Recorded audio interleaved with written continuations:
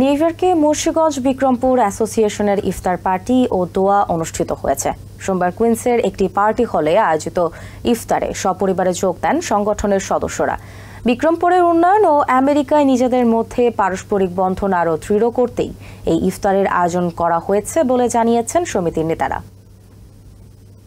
দোয়া অফিলে মুন্সিগঞ্জ তথা মুন্সিগঞ্জের বাইরেতে আমাদের অতিথি বৃন্দ সহ যারা আমাদের এই আজকের ইফতার মহফিলে এসে আমাদের অনুষ্ঠানকে সাফল্যমণ্ডিত করেছেন, আমি আমার সংগঠনের পক্ষ থেকে প্রত্যেকে জানাই মোবারকবাদ। এতে আমাদের পরিবারবর্গ সবাই আনন্দিত।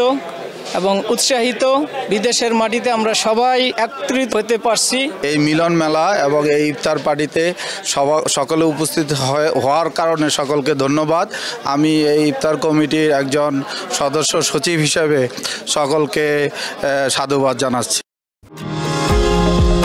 নিউ ইয়র্ক থেকে সম্প্রচারিত টিভিএন টোয়েন্টি ফোর টেলিভিশন বিশ্বজুড়ে বাঙালির কণ্ঠস্বর।